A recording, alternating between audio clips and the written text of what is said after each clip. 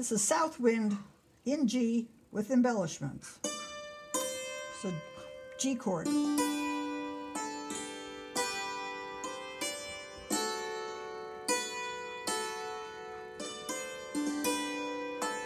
Coming over to the bass. Repeating.